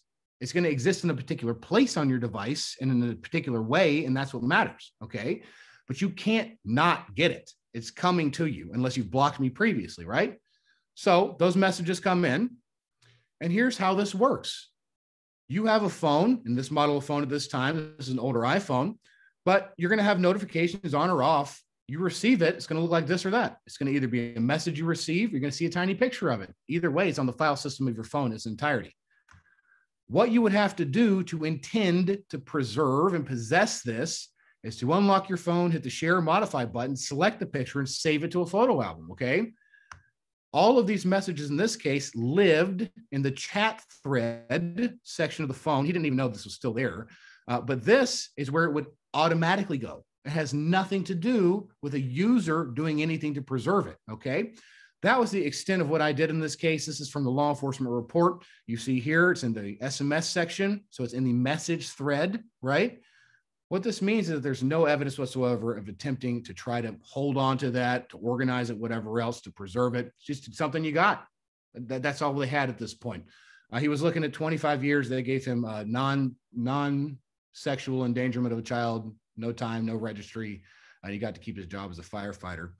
Uh, one final thing: when you're dealing with phones, okay, cloud backups in many ways are almost as good as having a phone we can absolutely connect to the cloud and pull down uh, an iPhone backup, an Android backup, whatever. Okay. We can pull that down and view it like a phone. Second, if you back up a phone to iTunes or whatever else to back your phone up, that's just like having a phone. It's like having the phone. And sometimes it's better. It's better in this sense. Let's say uh, a year ago, they backed up the phone. You have the option to get the phone today and try to find evidence a year ago when it's the time you're interested in or we can go on the computer and get the backup that's contemporaneous to the time of whatever that incident is you want to examine or, or investigate, right? So sometimes that's better because you have a snapshot in time that can be older. Now, also remember these pods and players, your, your iPod touches that you give kids, these are literally iPhones without cellular service. You connect them to Wi Fi, they can do everything. Okay. We can do all those, your tablets, all that stuff too are the same thing. They're mobile devices, uh, even drones and whatever else. We can connect to that and pull the data data syncing is a real thing too. Okay. Let's say they don't do backups normally, but if you have a Mac and you got an iPhone and an iPad, Apple wants to keep you in their ecosystem. That's how they make money. They want you to buy Apple everything. So your messages and everything sync between all your devices. Okay. So, for example, you have a case. There's an iPad, an iPhone, and a computer. Uh, the dog eats the iPhone. The aliens take the iPad, but we still got the computer. Okay. Well, we examine the computer and it could absolutely contain all the messages that were on those other devices because they synced to the computer. Okay. So there's other places to get this, even if the primary source is not there anymore. I'll give you one case example on this and then we'll be finishing up. So I had a uh, employee in this case was an employment case. He was a high level employee at a bank. An email went out from a Gmail account that was his name at gmail.com. Uh, let's just call him John Doe at gmail.com. Okay, we sent it out. And on this list were VIPs of very, very large financial institutions. You would know the name of if I said them. Okay. We, we all would. All right. So executives to multiple places. And in this e- email he sent out uh, was pictures of his genitalia. Okay. He says, I didn't do it. I was hacked. It wasn't me. It's not my email address. Okay. So he's got two phones and a computer, or two phones and two computers. Uh, one computer was never, we never got. Uh, the other one had been partially deleted with anti forensic tools, and the phone had been wiped, it's gone, all gone, factory reset. Now, the computer, interestingly enough, when you run anti-forensic tools, there's a few things that happen. One, if you try to use those, they create a huge mess, right? It's not like uh, they may get rid of the stuff you want to get rid of, but it's like a hurricane, right? It's like the digital hurricane, atomic bomb. You can see the debris everywhere in our world. We can absolutely tell that you've run these. Okay. The second thing is, is it doesn't delete things he thinks you want to keep. Okay. And the way this worked in this case is that he had iTunes to back up the phone. So he deleted iTunes, but that doesn't delete the backups. And that software is not going to delete what you haven't told it delete in this instance. He thought he was deleting it, but to actually get to the backups manually for an iPhone, you have to dig very deep into a computer file system. So we recovered the backups. And in those backups, I was able to see where he had uh, taken a series of pictures to get the best ones. And they're vertical. And You see them sideways. You got them a thumbnail view. We got all the pictures you could want. And was able to recover where he had accidentally sent this message uh, to this work contact list uh, instead of his mistress. Uh, so I don't know the outcome of this case. I presented to their uh, their their board of directors and all that stuff just to give them the facts. So uh, either um, he's got a very interesting nickname or he doesn't work there anymore. Uh, but I do appreciate your time today. Here's some of the books for our team: of the Digital Forensics for Legal Professionals. The digital forensics trial graphics I would not recommend. That's more for other peers in my my discipline to train them on how to do stuff. But cell phone location for legal professionals, that's the only book like that on the topic. That's actually my father who wrote that one. That's an excellent book right there if you want to know about that particular topic. Fantastic. Thank you so much, Lars. And um, so now we're going to get to some questions because I have a lot of great ones. And if we go over a little bit, it's not a problem at all. Um, so are you ready for this? Yep. All right, let's go. Um, first question comes from Nan. Um, what effect does a VPN have on phone forensics and collecting this type of data? Uh, to collect this type of data, we need the physical device, so none. Uh, the VPN would obscure your connection from one place to the other on the internet. Uh, so that goes through different servers, so you can't track back to a device, but that has no impact on this because we're pulling this directly from the phone. Okay, great. And then this one comes from Leonardo. He wants to know Does Google incognito option ha- actually prevent you from finding searches through made through that function? So, does Google incognito option actually prevent you from finding searches made through that function? So, I'll talk about it as a whole private browsing, all of them. Uh, web browsers don't like to delete things about you. Uh, and we can absolutely recover private browsing, incognito browsing. Um, remember, these work on that database type system, like I was talking about earlier. A normal computer user, they're absolutely gone. If you're operating it normally uh, with forensic tools, it's highly likely we're going to recover partial or all of that or significant amount of that. Uh, caveats, it does depend on some other factors, but generally uh, highly recoverable. Okay, great. And then what about this one? Um, whether surfing done in incognito mode can be tracked in any manner? Can be tracked in any manner. Um, I'm not sure surfing. what we're, we're asking. In, in yeah, the, the sense that um, are organizations and companies attempting to utilize your your uh, internet browsing and the rest? Yes, and absolutely, law enforcement's running applications all the time that are tracking traffic. Uh, they're tracking things through National Center for Missing Exploited Children and other places to, to track contraband files. Uh, they can track any type of file for the most part in a lot of different ways uh, using hash algorithms. So you can take a file and you can run an algorithm against it and get a unique number that uniquely identifies that file. Okay. And then you can search the whole internet for it and you can find it. You can search a computer to find duplicate documents. Uh, you can utilize that to see if traffic's going back and forth, um, like peer-to-peer file sharing, to see if that is a identified child pornography image, for example. So, um, without more specifics, uh, yes, there is tracking possible in a lot of ways. Okay, great. And then this message comes from Jason. Thank you so much. Um, is it correct to say that overwrite and factory reset are the only ways to delete data from a device? Uh, overwriting data with new data, yes, that is one of the only ways. Uh, a factory reset on a phone is highly effective. Uh, I would say that you're 99% sure to get rid of everything. And the only people who are going to get anything for something like that potentially are people like me who have these tools that can do it. Uh, normal people do not have these tools. They're very expensive, right? Uh, so not going to happen. Uh, the other way is to literally beat it to death, just destroy it. Okay. I know that's not fun. I got interviewed for the news once for one of the women's shelters on like how they should get rid of these phones and do all this stuff. And uh, they wanted us to take like 10 phones and use free tools on the internet to see what we could get back. And we got a ton of stuff back, right? Like huge amounts of data.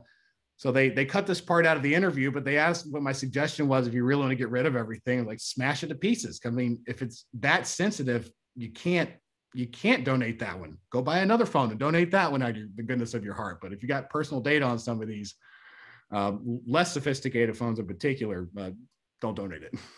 I know. I, and I think that happened to me once a couple years ago. I went to Brazil, spent five weeks out there, took the most amazing photos. I came back home, didn't think about backing it up because I just went straight to Verizon to get a new phone. The guy guaranteed me he could just transfer that information. Well, guess what? It was gone. I think yeah. he did the factory reset, and I was never able to recoup those photos. So, lesson learned definitely save when you can. And don't trust uh, every person that works there. Yeah. All right. So next question is coming from Philip. Uh, do phone records show the 911 or the 1-800 calls? Uh, phone records will show those. Uh, you can also get uh, E11, E911 records. Um, I think we have language for that somewhere. Uh, my experts have, I have experts who have testified in cases related to 911 call center and e- E911 is the emergency 911 system that allows you to start tracking, real-time tracking. Uh, so if, if there's called in missing persons, there's concern about somewhere's at, if they're trying to find a fugitive, they can use it too. Uh, the cellular system by law has to has to do this. That allows them to track real time. When you're talking about records normally called detail records, you're looking at historical records, right? It's not real time. It's something that's happened in the past. You're getting that so you can see what happened. Uh, you can track it that way. But yes, those are recorded in in the call detail records. If they're if the phone call's made with a phone using the normal uh, phone calling method, right? If you did it through WhatsApp, it's not going to be right. If it's done via data, a data application, or somebody calls from a computer, like if we call from Skype right now, because you or, or, you know something like that, you put the phone number in, it would not. Mm-hmm. Okay, great. And then Mosey has a really great question. Um, she says, Lars, do you have any top suggestions for phone safety that you would like to share?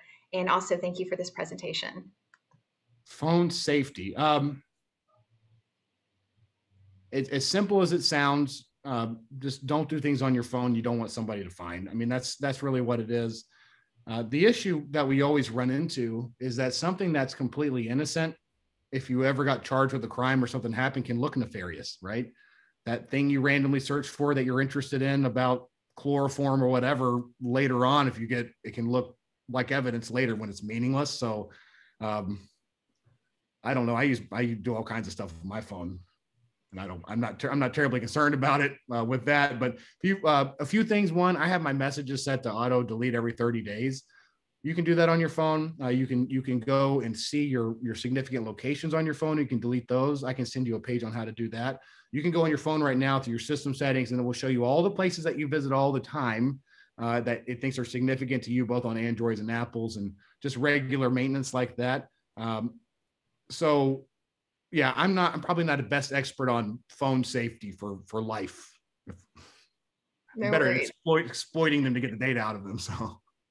And then um, Ted Mullis had a question who we're all going to meet in just a few minutes because we're going to announce the coffee giveaway. Yeah. But when we were talking about the factory reset button a couple minutes ago, um, does it truly wipe out what is on the phone? For example, if you were to sell a phone or you gave away an old phone, if you do the factory reset, does it truly wipe everything out? Yeah. So your let's give an example. Your modern iPhones, you cannot do chip off like we talked about. You crack crack it open and pull the chip off, right? Because it's encrypted at a hardware level.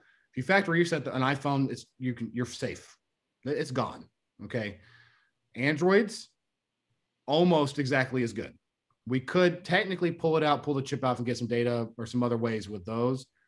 it's going to be so tiny and you need very, very specialized tools. I would not be concerned doing that personally.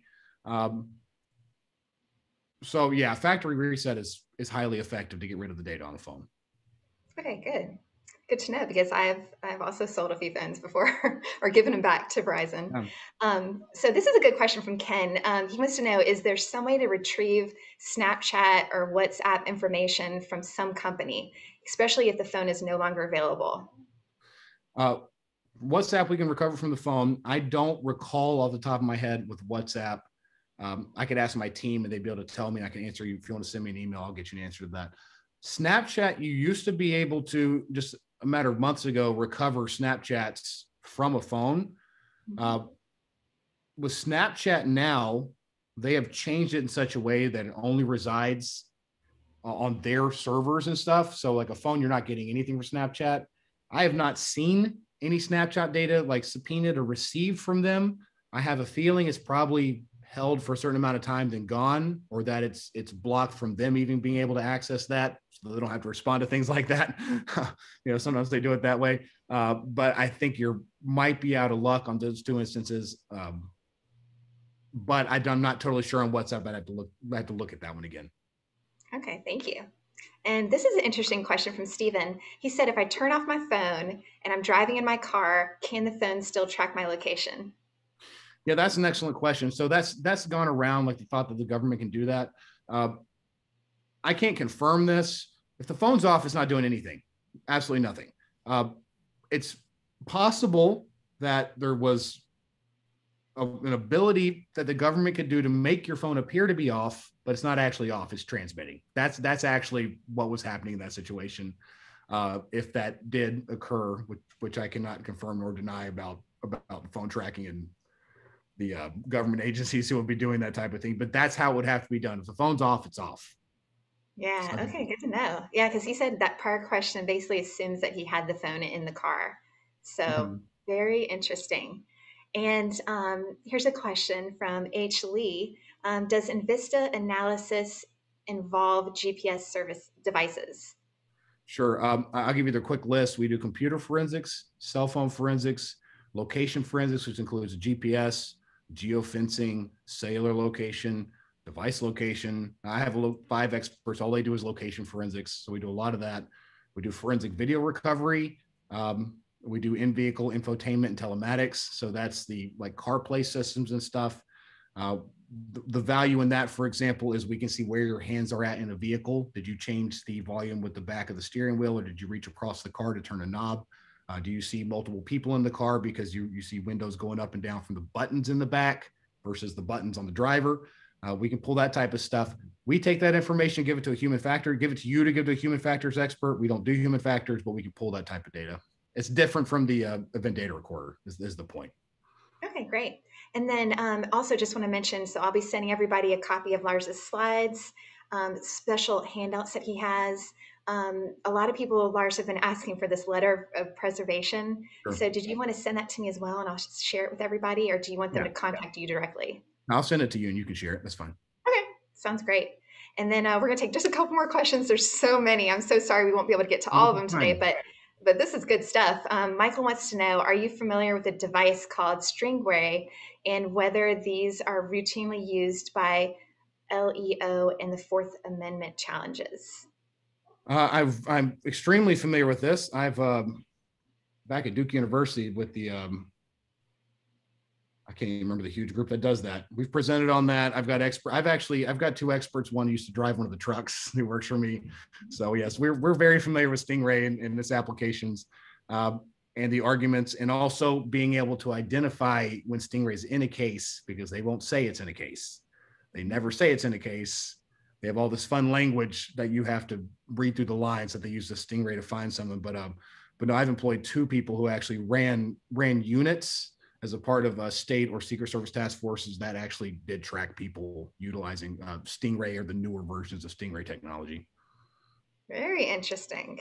All right. And then um, I've got to ask this one from Clifford. Um, he wants to know Have you had any success pulling the historical cell site data past the two year cutoff mark which I think T-Mobile and Sprint and a lot of them use. Yes, uh, we keep track of the retention and keep updating that. We have that in some documents too.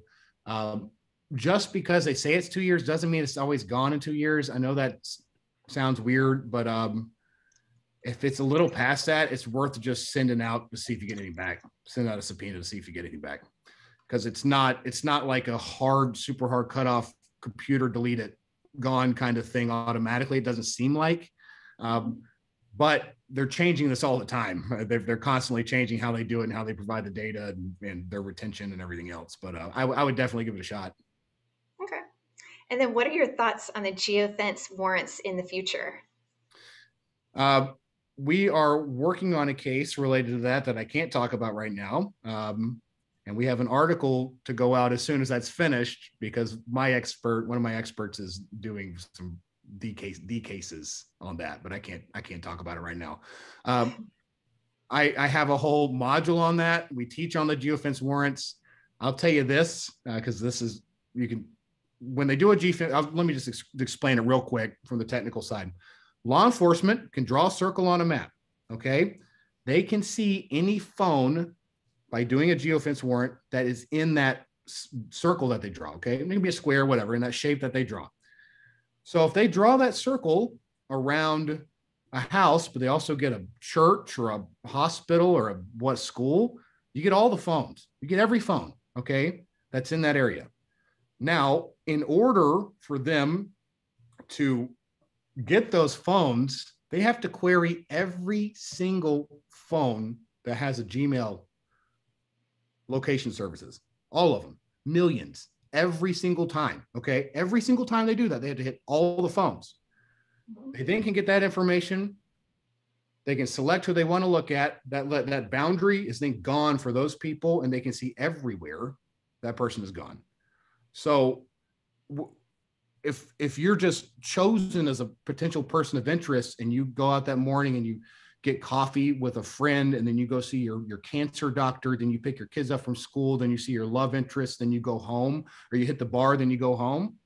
They have all that information right? They've got all your activity uh, even though um, yeah that's I, I, should probably stop that's there, there's a whole lot on that coming out. I'll be happy to send it to this group when it does and like i said we have an article ready to hit send uh, to go out on that right now. Okay great and then uh, one more question from Peter. So he wants to know Can all the data on a phone be destroyed simply by removing and destroying the chip?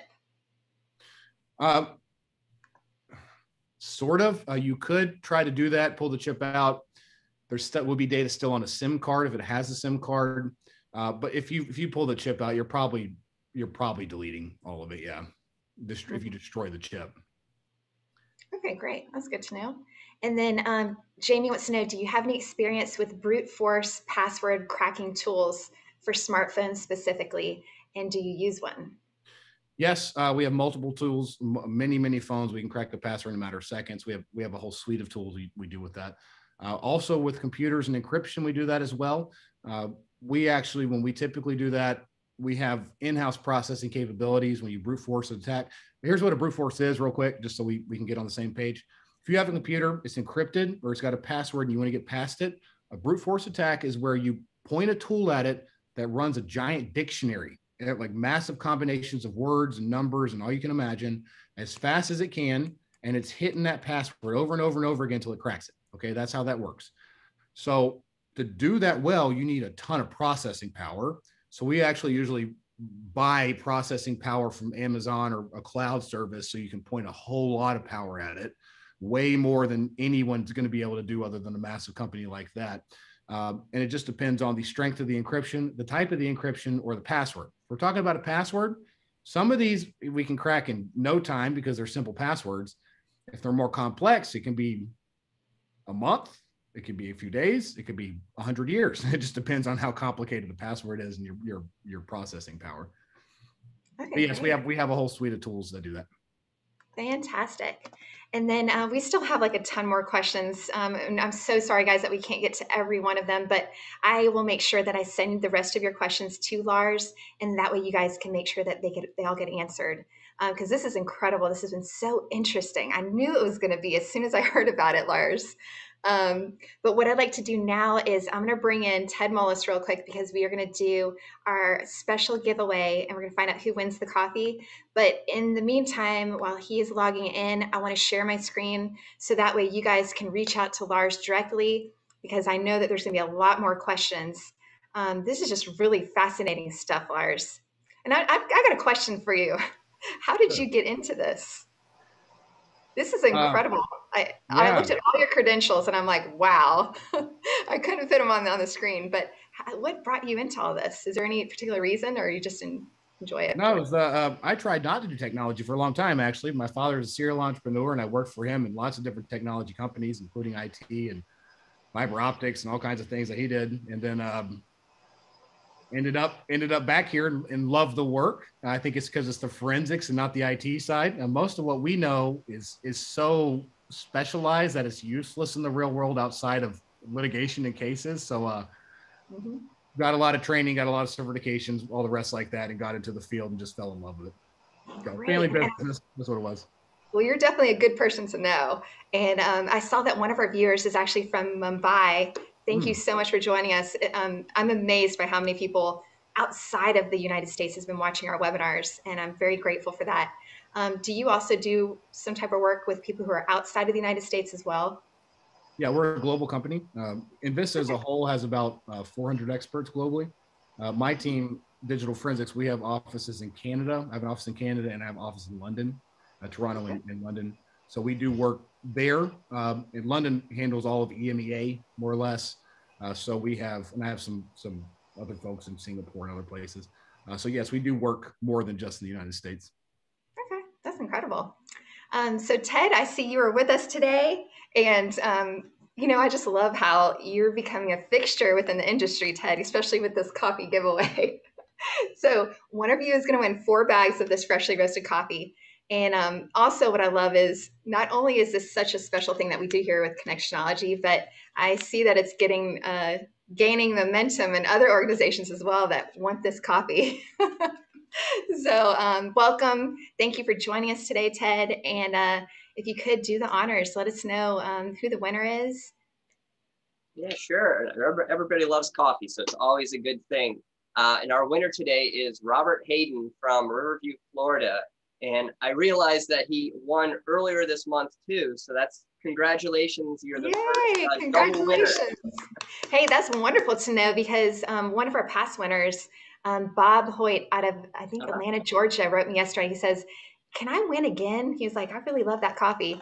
And hey, it's all fair. Like, like I said, we do this the right way on Connectionology. Um, and we always, uh, pick a few names. I, I look to see who the first person is on the list who's watching the webinar. And if that's you, well, you're the lucky winner. Yep, yep. So um, now, if you didn't win today, don't worry.